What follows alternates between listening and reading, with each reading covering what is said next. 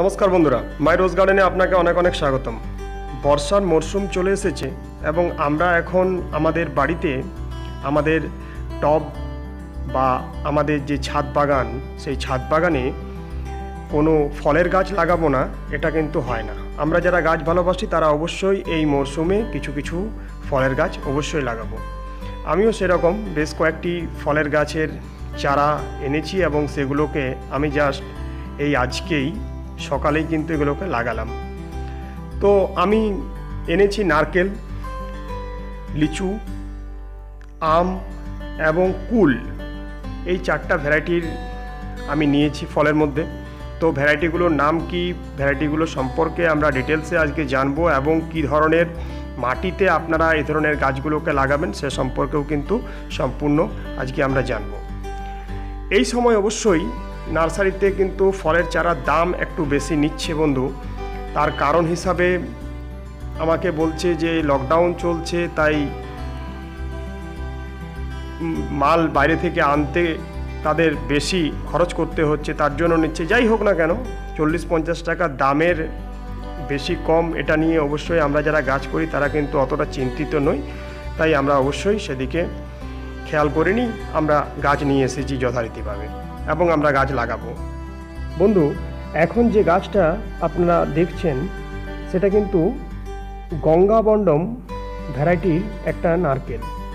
তো এই ভ্যারাইটিটা আমাকে অনেক দিন থেকেই বলছিলেন নার্সারির যিনি মালিক যে এই নারকেলটা খুব কম দিনের মধ্যেই ফল আসে, গাছের হাইট ছোট হয়, গাছটাকে ড্রামে করা যাবে। এছাড়া গাছটাকে প্রচুর প্রচুর নারকেল পাওয়া যাবে। তো যাই হোক, সেই কথা ভেবেই আমি এই গঙ্গাবন্ডম নারকেলটা নিয়েছি। এটার আমার কাছ থেকে সাড়ে তিনশো টাকা দাম নেওয়া হয়েছে।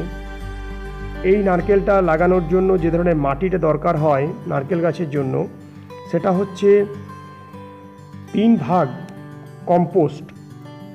এখানে ভার্মি কম্পোস্ট দিতে পারেন, পচানো শুকনো গোবর সার দিতে পারেন, পাতা পচা সারও আপনি দিতে পারেন। তিন ভাগ আপনাকে কম্পোস্ট দিতে হবে, দু ভাগ বালি দিতে হবে এবং এক ভাগ দোআঁশ মাটি নিতে হবে।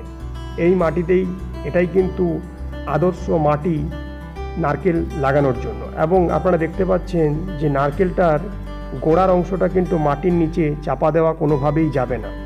ঠিক আছে? ওই অংশটা আস্তে আস্তে যত গাছটা গ্রোথ হবে, তত কিন্তু ওই গাছটা, ওই অংশটা মোটা হতে শুরু করবে। ওটা যদি মাটির নিচে দিয়ে দেন, তাহলে কিন্তু গাছটা লিকলিকে হয়ে যায়। এটা কিন্তু আপনাকে অবশ্যই খেয়াল রাখতে হবে যখন আপনারা গাছটাকে প্রতিস্থাপন করবেন। এবং যদি গাছ যদি, যেহেতু চারা গাছ যেহেতু একটু দুর্বল, তাই একে একটা কাঠি দিয়ে বা বাঁশ দিয়ে বা কোনো অন্যান্য যে কোনো জিনিস দিয়ে একে কিন্তু একটু বেঁধে দেবেন, যাতে গাছটা হেলে না পড়ে। এই বিষয়টা আপনাদেরকে অবশ্যই খেয়াল রাখতে হবে। তো এটা ছিল গঙ্গাবন্ডম ভ্যারাইটি। এরপর আমরা এই যে গাছটা দেখছি, এটা একটা লিচু গাছ। যেটা নার্সারির তরফ থেকে আমাকে জানানো হয়েছে যে, দু বছরের মধ্যেই ফল আসবে। এবং এই গাছটার হাইটও কিন্তু খুব বেশি হয় না। ছ ফিটের বেশি এ গাছের হাইট হয় না, তাই আমি এই গাছটাকে নিলাম। তো গাছটাকে ড্রামে করা যাবে, তারা যেটুকু বলেছেন। এবং দু বছরের মধ্যে ফল আসবে। গাছটায় আমার কাছ থেকে সত্তর টাকা চারাটার দাম নেওয়া হয়েছে। যাই হোক, দেখা যাক কি হয়? অবশ্যই তো আপনাদের সাথে ভিডিও করে দেখাবো, গাছের পরিচর্যা দেখাবো। এই গাছটা লাগাতে যে মাটিটা দরকার হবে, সেটা হচ্ছে দু ভাগ কম্পোস্ট দু ভাগ মাটি এবং এক ভাগ বালি। তো এই মাটিতেই কিন্তু আমরা এই গাছটাকে প্রতিস্থাপন করেছি। দেখা যাক এর ফলাফল, এর রেজাল্ট কি হয়। এই যে আমটা আপনারা দেখছেন, এটা কিন্তু পশ্চিমবঙ্গ তথা ভারতবর্ষের সবচেয়ে কিন্তু দামি আমগুলোর মধ্যে একটা ভ্যারাইটি এটা হচ্ছে আলফানসো প্রজাতির আম। তো আমি আলফানসো আম এর আগে কিন্তু কখনোই করিনি। এই ফার্স্ট আমি করলাম। অনেক দিন থেকে আমার ইচ্ছে ছিল। এবারে আমি নার্সারিতে গিয়ে আলফানসো আমের চারা পেয়ে যাওয়ার পরেই আমি কিন্তু গাছটা সঙ্গে সঙ্গেই কালেকশন করে নিয়েছি। এর দাম নিয়েছে একশো টাকা। তো আমার জানা নেই এটা আলফানসো আম আদৌ বটে কি না সেটা তো অবশ্যই পরের বছর যখন ফল আসবে, তখনই আমরা এটা বুঝতে পারব এবং সেটা আপনাদের সামনে ভিডিও করব। দাম আমার কাছে নেওয়া হয়েছে, আসলে যদি আলফানসো হয়, তাহলে তো আই এম লাকি অবশ্যই আমরা অনেক সময় নার্সারিতে জিনিস নিই, কিন্তু ঠিক জিনিসটা আমরা পাই না।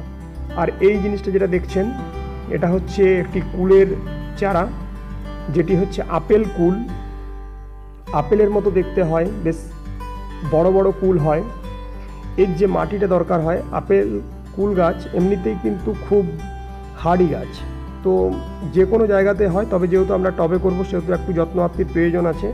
এক্ষেত্রে আপনি দু ভাগ ভার্মিকম্পোস্ট, এক ভাগ বালি এবং দু ভাগ হাতের কাছে আপনি যে মাটিটা পাবেন, সে মাটিতেই কিন্তু এই গাছকে প্রতিস্থাপন করতে পারবেন।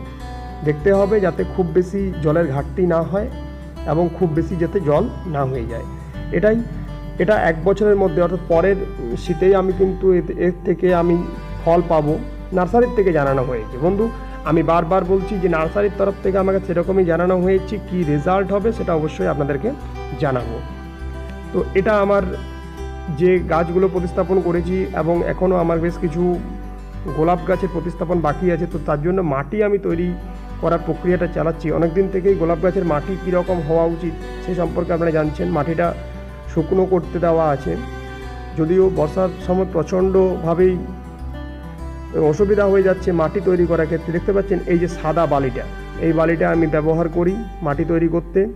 এই বালিটা দিতে অবশ্যই হবে, গোলাপ গাছের ক্ষেত্রেও দিতে হবে, এই সমস্ত ফলের চারা লাগাতেও দিতে হবে। আর এ ধরনের কম্পোস্ট সার ভিজে আছে, এখনও এটাকে পুরোপুরি শুকনো করতে দেওয়া হয়েছে। এটা অন্তত এখনও পনেরো কুড়ি দিন সময় লাগবে। আর এই যে দেখুন মাটি আমার দোঁয়াশ মাটি আছে, বেলে দোঁয়াশ মাটি যেটা। তো যেহেতু বালি দেওয়া আছে, সাথে সাথে প্রচুর পরিমাণে কম্পোস্ট দেওয়া আছে এবং তার সাথে মাটি দেওয়া আছে, ফলে মাটিটা কিন্তু খুবই উর্বর মাটি হচ্ছে। তো এই ধরনের মাটিতে আপনারা ফুল, ফল, সবজি সমস্ত কিছুই কিন্তু করতে পারবেন অনায়াসে। কারণ প্রত্যেকটা টবের গাছের মূল অসুবিধাটাই হচ্ছে জল নিকাশি ব্যবস্থা। তো এখান এক্ষেত্রে জল নিকাশি ব্যবস্থার কিন্তু কোনো টেনশন থাকবে না। কারণ খুবই হালকা মাটি হবে, ঝুরঝুরে মাটি হবে, এই মাটিতে জল দাঁড়াবার কোনো ভয় থাকবে না। আপনারাও ঠিক এ ধরনের মাটি নির্বাচন করুন এবং এ ধরনের মাটি আপনারা তৈরি করে গাছ লাগান। পরবর্তী সময় আমরা জানব যে যে সমস্ত গাছগুলো আমরা প্রতিস্থাপন করলাম, বিশেষ করে এই যে গঙ্গাবন্ডম নারকেল এবং আলফানসো আম, এর গ্রোথ কীরকম হচ্ছে, এর পরিচর্যা কীরকম হচ্ছে, পরপর আমি স্টেপ বাই স্টেপ সে সম্পর্কে ভিডিও করব। তাই চ্যানেলটিকে যারা এখনও সাবস্ক্রাইব করেননি, তারা অবশ্যই চ্যানেলটিকে সাবস্ক্রাইব করে রাখুন। ধন্যবাদ, প্রত্যেকেই ভালো থাকবেন।